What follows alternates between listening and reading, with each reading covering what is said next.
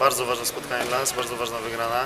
E, Też takiego zwycięstwa potrzebowała cała drużyna łącznie, łącznie ze mną, żeby się odbudować po prostu, bo jak patrząc nawet po, po meczu czy po protokole widać, że bardzo dużo osób dało coś, tak? Czy, czy w ataku, czy z pasem dał dużo bloków, e, czy, czy dużo punktów, dużo asyst i tak dalej. Dorian też dał, dał swoje, czy nawet była szansa, żeby inni zawodnicy też wyszli z głębszej rezerwy, też, też mogli wyjść, także to też było ważne, żeby z powrotem ta chemia i cała drużyna zaczęła funkcjonować. No, wynik oczywiście nie oddaje przebiegu spotkania, bo, bo trzy kwarty mecz był bardzo wyrównany i właściwie ciągle wierzyliśmy, że jesteśmy w stanie wygrać, natomiast y, w ostatniej kwarcie mm, przegraliśmy ponad 20 punktami tę kwartę i, nie wytrzymaliśmy, tak powiem, y, w obronie przede wszystkim. tak? Przegrywaliśmy masę pojedynków jeden na jeden, no i chyba zabrakło determinacji i wiary w ostateczne zwycięstwo.